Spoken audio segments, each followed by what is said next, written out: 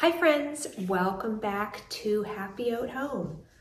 In today's video, I am going to style a couple shelves of our glass cabinet.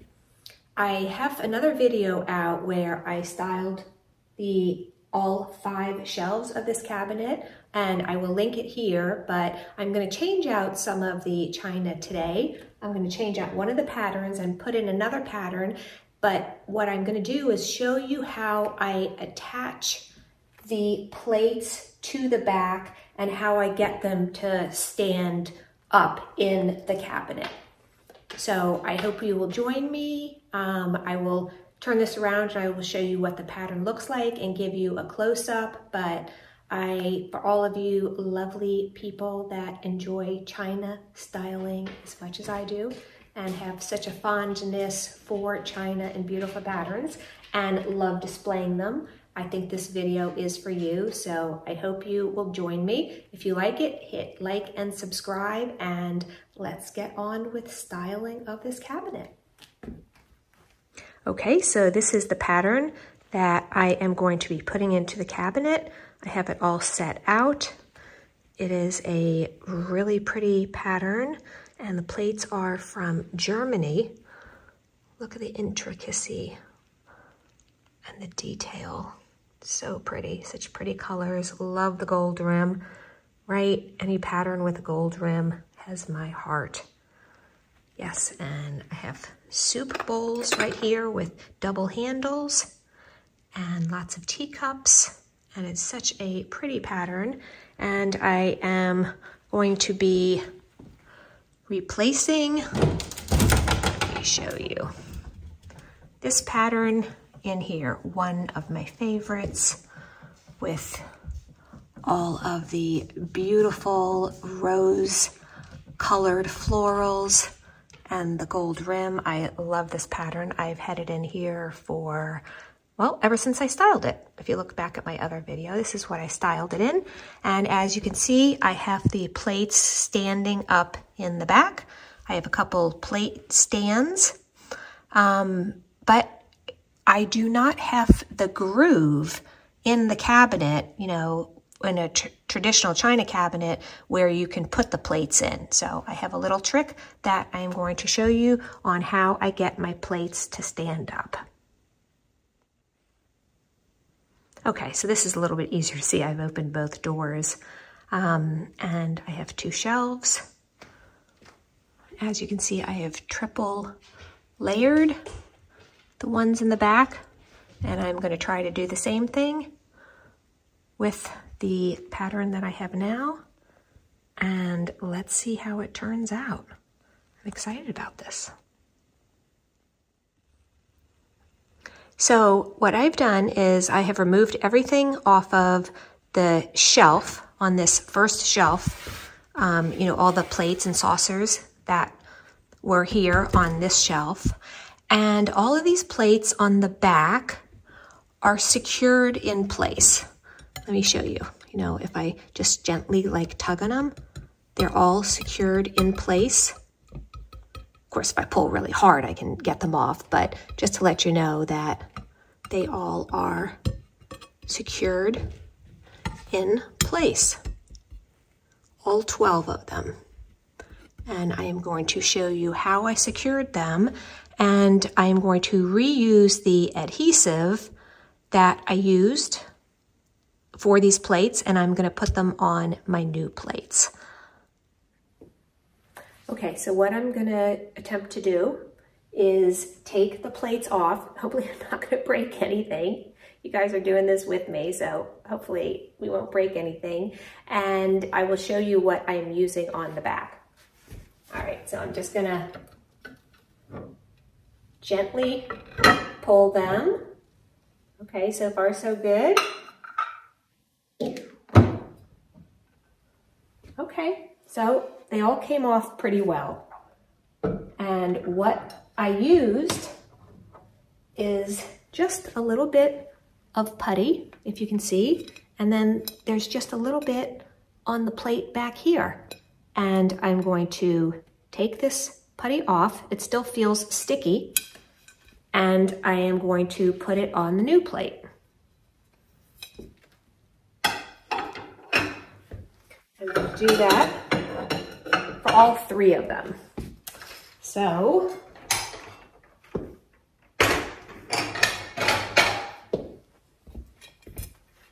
have a plate right here.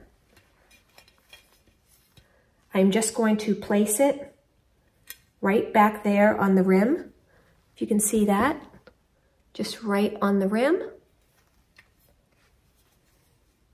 Actually, you know, actually I'm gonna move it because I was lining it up with the pattern there, but when I turn it around, I feel like the pattern should be like that, where the flowers are.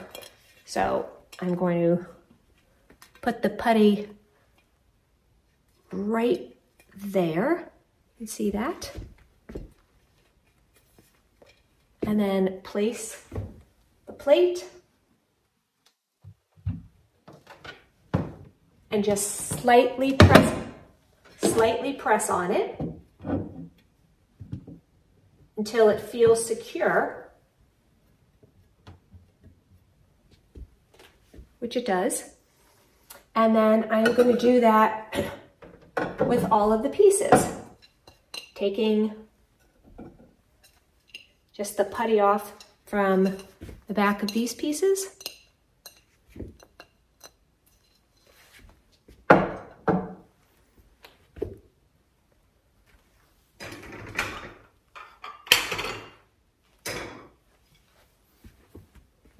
This putting it right there.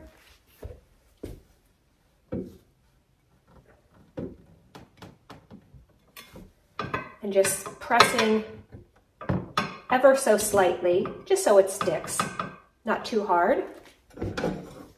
And then take a small saucer and do the same thing with that.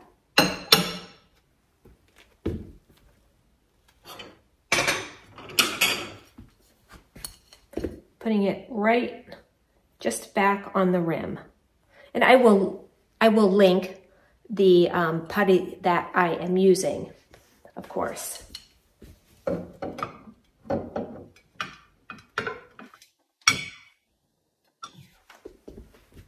there you go. Can you see it? I have all three of them. They feel quite secure and it looks so pretty. Move the camera back a little bit so you can see that. So I am going to continue to do that with all four of these and then we're going to do some styling here on the top shelf.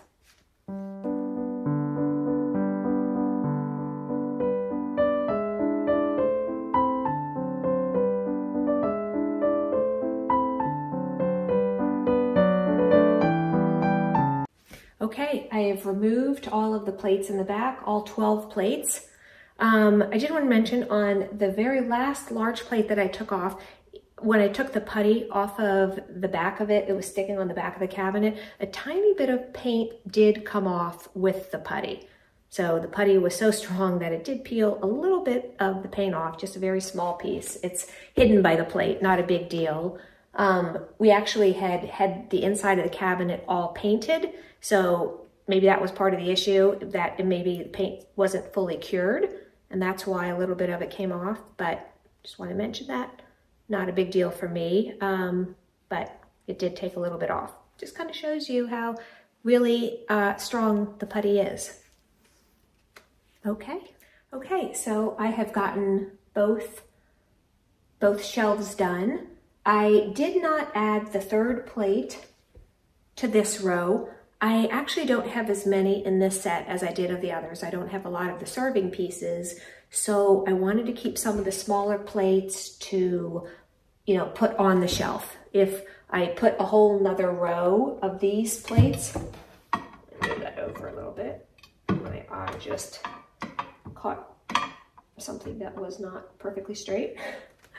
Um, so yeah, if, if I put a third row here, I won't have enough to fill up the shelves. So that's what I'm gonna do. I am just gonna put the rest of the bowls and the small plates on here. And hopefully it will it'll fill it up. I think it'll look nice. I just don't have as many, as many serving pieces. Okay, so let's start playing with dishes. So exciting. All right, so what I normally do when I start, I take inventory and I try to determine how much I have and how much is gonna fit on the shelf, right? So this is a service for eight. And of course I have four and four, so that works out perfectly. If it were service for, excuse me, for 12, I would be using either three shelves to stack them up, or I would be using some of the large plates and putting them on top of the shelf. But since I have two, it works out, I have a service of eight, that works out very well. So if you all know me, you know I love symmetry. So I'm probably gonna do something kind of symmetrical. So hope you guys like it. So I'm gonna start out with just a simple, all I have left are saucers, soup bowls, finger bowls, and teacups. So I need to fill the two shelves with that. What I'm gonna start with, I am going to place one of the saucers right in front of the plates. I don't think that I am going, that's not gonna fill up the space. So what I'm gonna do, so each set is gonna have a teacup on it, or probably two teacups, because I think I have more teacups than eight, so. Um, so what I'm gonna do is actually kind of just put it back further and closer to the play setting so that I still have these spaces in front to fill up. And I am going to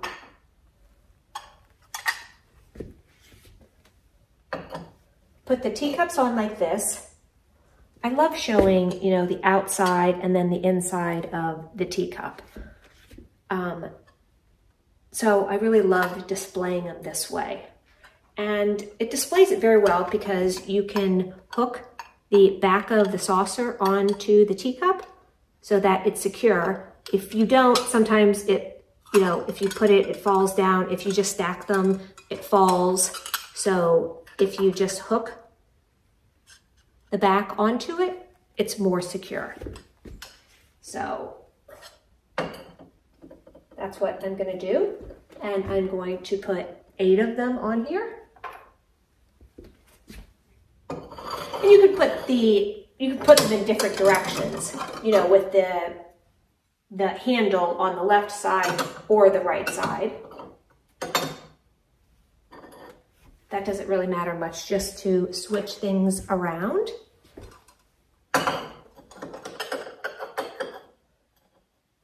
So I did one uh, right, left, right, and then I'll do left with the last set of two.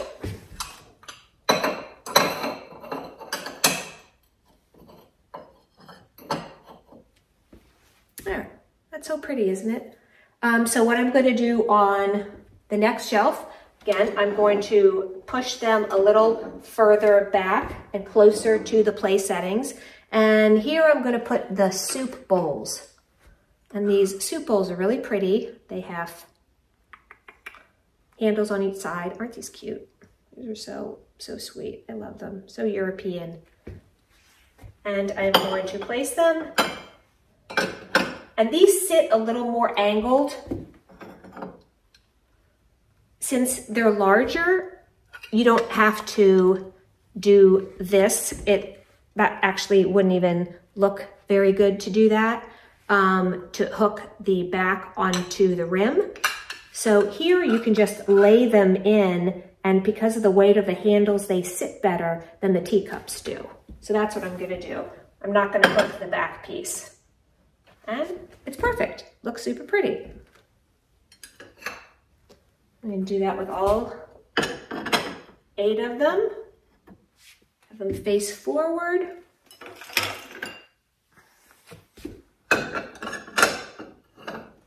Like that.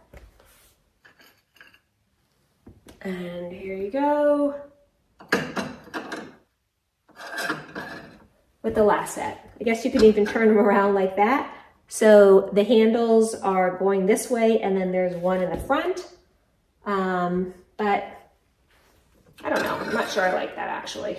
I think I like them better where they are both on the left and the right side. So you can actually see the design on the front. Okay, so what do we have left? I have a few finger bowls left. I have all of this space in the front, so I'm going to fill in the space between each of the place settings. And I have some more, these are the saucers for the soup bowls. So I'm just gonna place them in here. So here we have sort of like a triangle. And I have enough where I can put two between each.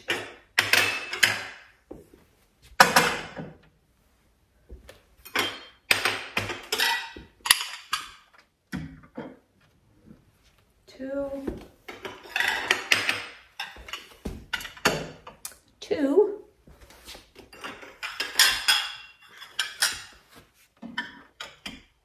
And two. And I'll do a close up afterwards. And now I am going to put these adorable little finger bowls on the plates in the front.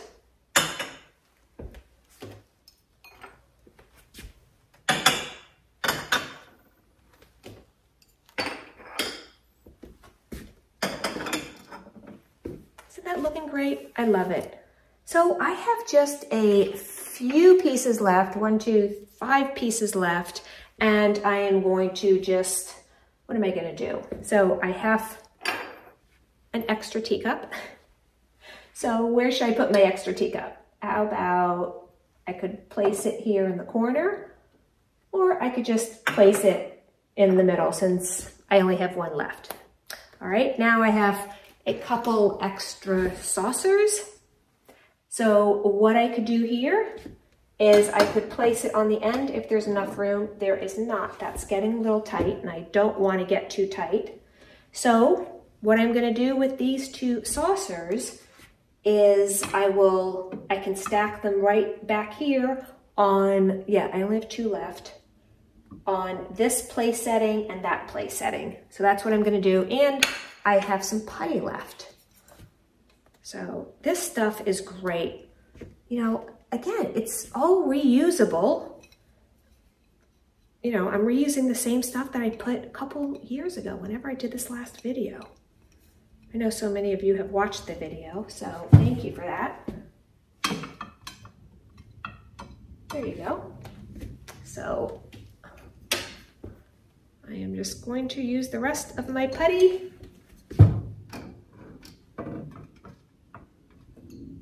have these two place settings in the middle with three plates and the ones on the end have two plates. And lastly, I have two little finger bowls. And where should I put those? How about if I stack them up here? Actually, you know, maybe I will balance it and put them down here since these only have two plates. These have three plates. This kind of, I feel like it balances, of balances things a little bit better.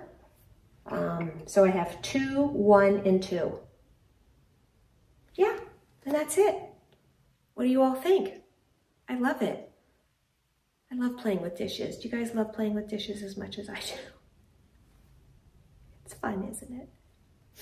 All right, I am going to uh, take that camera off and I'm gonna do a close up and show you how it looks. I hope you all liked the video. Please like and subscribe and I will see you again soon.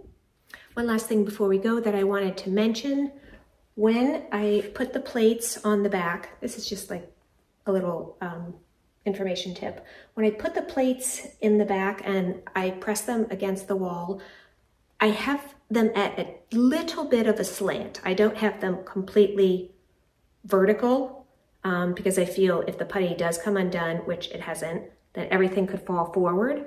But if things are just at a slight angle, I feel like it has a better chance of not falling forward. So that's the way that I install them.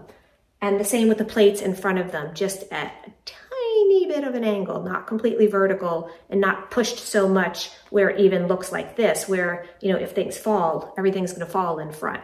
So not like this, not even like this, just at a tiny, tiny angle. So there's a little tip for you all.